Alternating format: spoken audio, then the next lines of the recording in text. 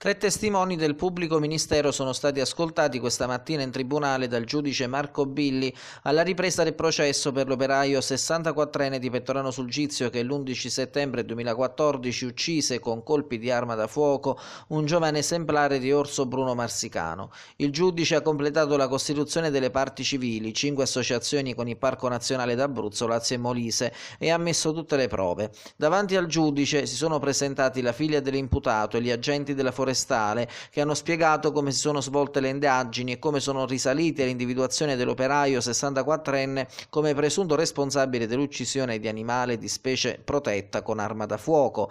Da parte del giudice c'è l'intenzione di chiudere subito il processo, hanno spiegato l'avvocato Michele Pezzone del WWF e Francesco Zurlo che difende l'imputato.